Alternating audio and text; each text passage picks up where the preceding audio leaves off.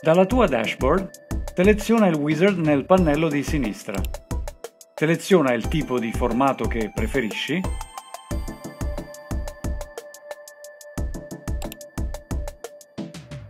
Inserisci le informazioni richieste. Queste variano a seconda delle categorie scelte. Un'anteprima del tuo design è visibile sulla destra.